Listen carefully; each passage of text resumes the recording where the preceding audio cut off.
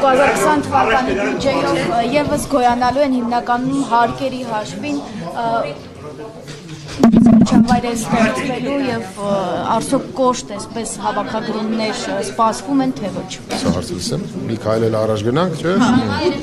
Նորմալ է։ Ну, այնպես չի որ 2020 թվականի պետական բյուջեով նոր բացահայտեցինք, որ հարկերը պետք է ավել լինեն։ Ընդհանրապես վերջի 20-25 տարվա ընթացքում այդպես է։ Եթե վերցնենք վերջի 3 տարիների դինամիկան, 93-ից 95%-ը պետական բյուջեի եկամուտների կատարվում է հարկային եկամուտների հաշվին։ Հարկային եկամուտները դրանք մաքսային մարմինների կողմից, հարկային մարմինների կողմից գանձվող հարկերն ու պարտադիր վճարներն են, ինչպես նաև պետական турքն է։ Պարոն Անանյան, նոր նշեցիք, որ 2020-ին ապահովատրումները ավելանալու են, չնայած բազմաթիվ քննադատությունների ՊԵԿ-ի հասցեին, որ հնչում են ինչու է նման որոշում կայացրել։ Եվ ներողություն ասեցիք նաև, որ արժանապատիվ աշխատավարձ պիտի լինի, որ մնա խոսքը որքան գումարի մասն, այսինքն ինչքան պիտի ստանան։ Գիտեք, արժանապատիվ եկամուտ հասկացությունը դա խիստ սուբյեկտիվ է, որտեղ ամեն մարդ ունի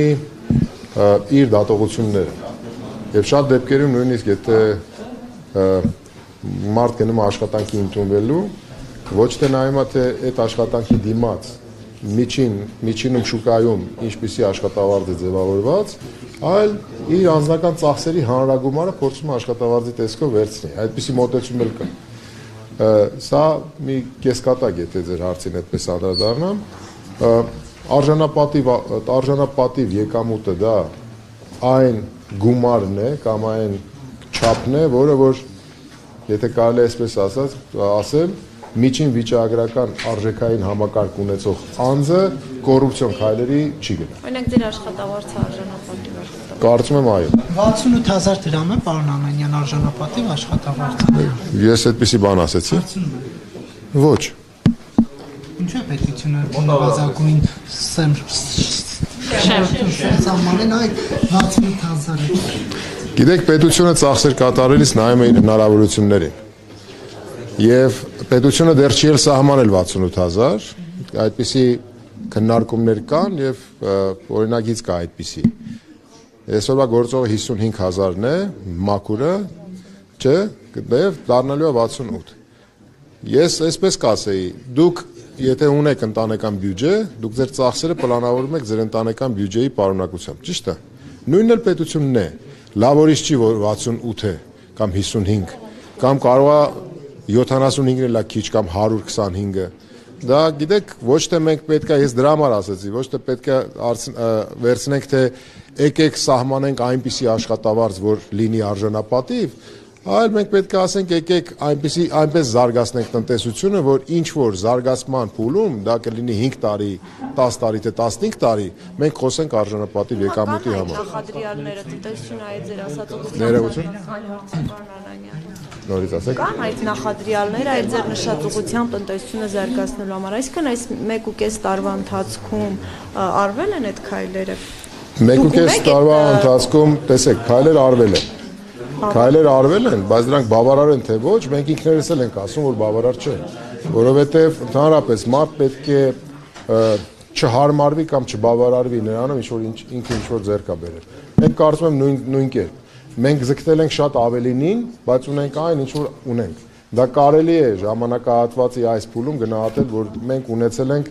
բնական զարգացման որոշակի հետագիծ, բայց դա բավարար է թե ոչ, իհարկե ոչ։ Պարոն Անանյան, դուք չպատասխանեցիք բարքեվատրումները նախ այդ ֆոնդը որքանով է ավելանալու եւ արդյոք քննադատություններից հասարակության կարծիքից վախեր չկան, այսպես ասած։ Գիտեք, ես վախենում եմ մի բանից ավելի շատ, որ հասարակության մոտ ընդհանրապես բարձր եկամուտ ստացող անձի նկատմամբ ձևավորվում է բացական կարծիք։ Անկախ նրանից այդ անձը պետական ծառայող է թե ոչ։ Բայց չեք կարծում, որ օբյեկտիվ վաճառներ նաև։ Ես ես չեմ ավարտել։ Ընդհանրապես այդտեղ հասարակության հետ զրույց անելու կար բան կա, անհրաժեշտություն կա։ Եվ ես մի բան էլ ասեմ, դուք այ դուք հարցրեցիք ձեր եկամուտը բավարար է չէ, ես մի բան կարող եմ ասել։ Ընդհանրապես շատ դեպքերում կա մի շատ ավելի կարևոր բան, որը որ մեզ առաջաբրթում կամ ուղակի հերում է առաջ դեպի զարգացում։ Ես միջև պետական ծառայության անցնելը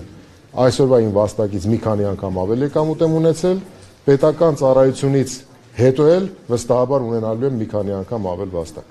Մնացածը դուք գնահատեք։ Իսկ թիվը, Որ թիվը։ չափը ընդհանուր պարգև Դա էլ, հա, ընդհանուր թիվը։ Եթե չեմ սխալվում, շուրջ 5-8 միլիարդի շրջանակներում է տարեկան։ Նախորդի համեմատ նախորդը շուրջ 5 միլիարդ է, հիմա դարել է 5-8 միլիարդ։ Ֆեկի ղեկավար կազմի շրջանակում էլ է ապարքեվատրումներն աճելու, թե շեշտը դնելու եք ստորի նողակների վրա, Շեշտը դնելու է- որոնք արժանապատիվ չեն դեռևս, այսպես ասած։ Շեշտը դնելու ենք ստորի նովակների վրա, ինչպես ձևակերպեց։ ՀԴՄ-ների ձեռբերման մասով գործընթաց ընդհանուր առմամբ խնդիրների լուծման ուղղությամբ ինչ նոր բան կարող եք ասել։ Գիտեք, դա մեր ցավոտ կողմն է։ Մենք էլի երևի թե ծեծված արտահայտություն պիտի ասեմ, մենք մի քիչ ավելի լավատես ենք, քան զարգացումները ցույց տվեցին։ Ես կարծում եմ, որ դեկտեմբերից սկսած մենք կունենանք առաջի խմբականակները։ Նոյեմբեր եք ասում, պարոն Անանյան։ Դրա համար ասեցի, որ ես ավելի լավատես էի, քան Այս իրականությունները։ դեպքում ով է Եթե, խնդիրը այ ջան, եթե դա դες կբավարարի, կարող եմ ներողություն խնդրել, որ ավելի օպտիմիստիկ էի։ Գյումրի Մաքսատան դեպքում նշեցիք, որ շինարարների փաստորեն սխալ հուշման արդյունքում էր, այստեղ որտեղ է խնդիրը։ Ես ասեմ, նախ Գյումրի պարագայում էլի ասեմ, որ մեղքը ամեն դեպքում ժամկետներ հրաապարակողինն է, անկախ նրանից թե ինչպես տեղեկատվության վրա է ինքը հիմնվում։ Ես ոչ մի պարագայում տվյալ դեպքում ձեր ասած օրինակում մեղքը չեմ կարող բա- բարթել շինարարների վրա։ Շինարարներն են փորձել երևի թե լավատես լինել։ Ժամկետ հրապարակવા դուք եք այսինքն։ Ժամկետ հրաապարակողը ես եմ, հետեւաբար դրա պատասխանատվությունն է լինում։ Իսկ ՀԴՄ-ների պարագայում որտեղ առաջացավ դարձյալ խնդիրը, որպես ժամկետների հետաձգման։ պատճառը Ժամկետների, չէ, մենք ուղղակի մեր գործընկերների խոսքին հավատացինք եւ մեր գործընկերներից շատերը չէին պատկերացրել, որ հսկիչ դրամարկային մեքենաները դրանք ուղղակի սարքավորում ձեռք բերելու, վաճառելու այդպիսի էլեմենտար գործառույթ չի կամ գործունեության տեսակ չէ։ Հսկիչ դրամարկային մեքենան ինքը բազմաֆունկցիոնալ սարք է, որը պետք է ունենա իր ծրագրային ապահովումները, պետք է թույլտվություններ եւ լիցենզավոր լիցենզիաներ ստանան այդ թվում բանկային համակարգից որ- որպեսզի օրինակ post տերմինալի ֆունկցիան աշխատի եւ մեր գործընկերները երևի թե լավ չէին պլանավորել որ դա մի քիչ ավելի խորքային եթե կարելի ասել մի քիչ ավելի համապարփակ գոր- գործունեություն է որ իրանք պետք է իրականացնեն իրենց ասած կանխատեսումների հիման վրա մենք փորձել ենք հանրությանը ներկայացնել որոշակի ժամկետներ Դեկտեմբերը կարծում եմ, որ առաջի խմբականակի համար կլինի,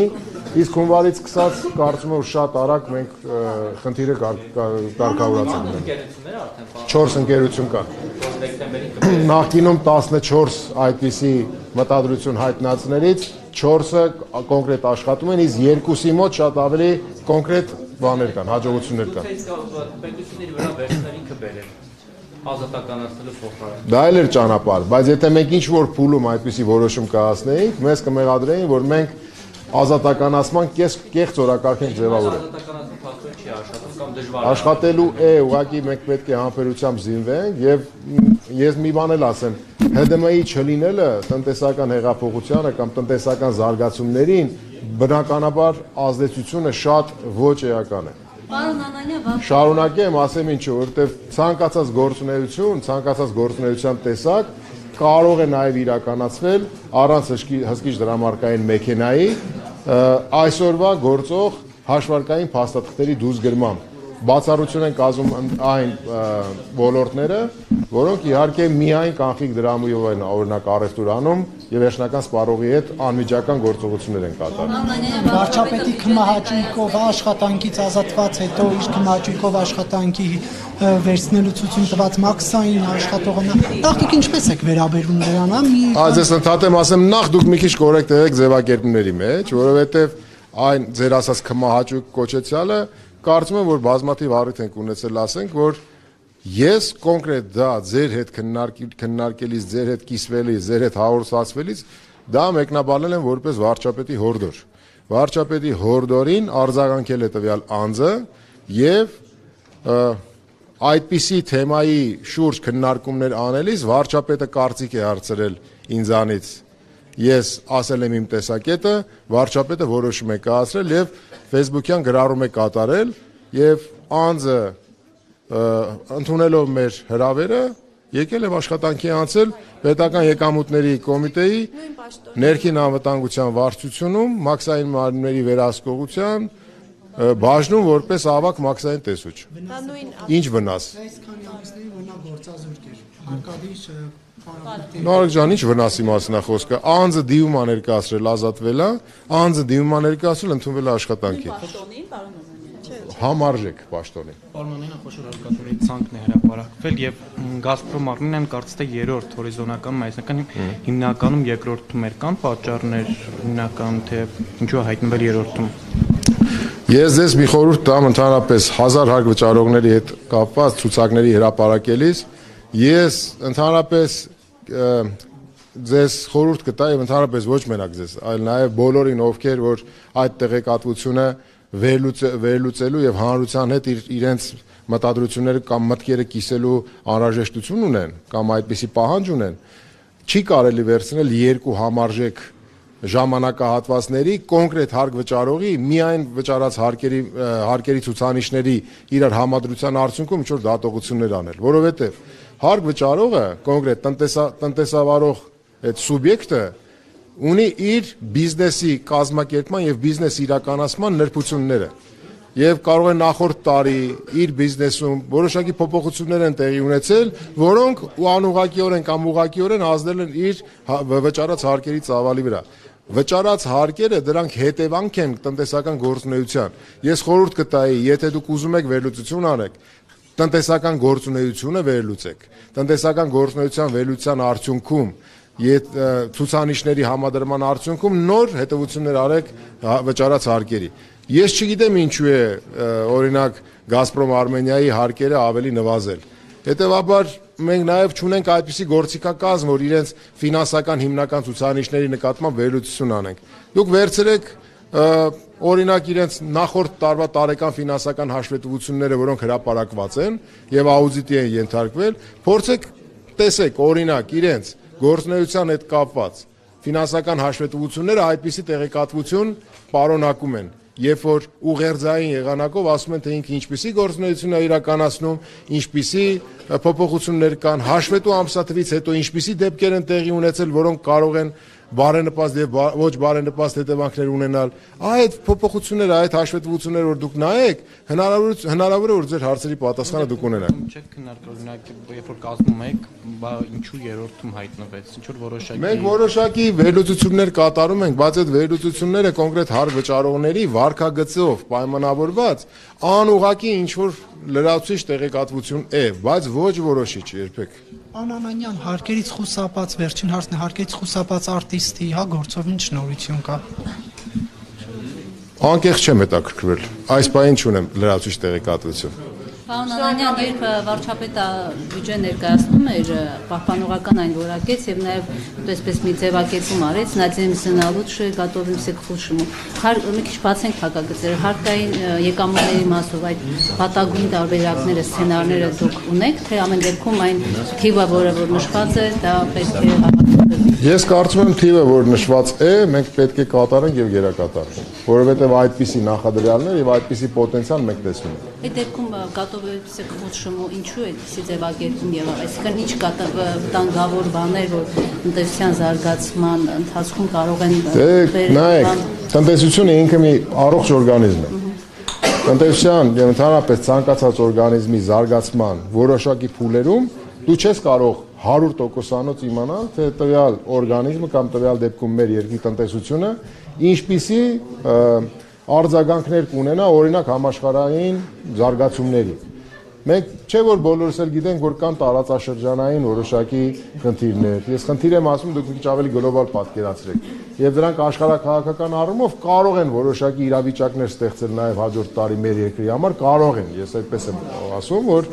եթե մենք գիտենք եւ տվյալ դեպքում երկրի ղեկավարը որոշակի ավելի շատ բնականաբար տեղեկատվություն ունի այդ բոլոր զարգացումներից եւ հնարավոր զարգացումների պարագայում ինքը իրավունք ունի որոշակի վերապահումներ արտահայտելու։ Ես կոնկրետ պետական եկամուտների կոմիտեի գործառույթներից ասած ես ասում եմ, որ մենք ունենք պոտենցիալ ծրագրային ցուցանիշը կատարելու եւ նաեւ գերակատարելու համար։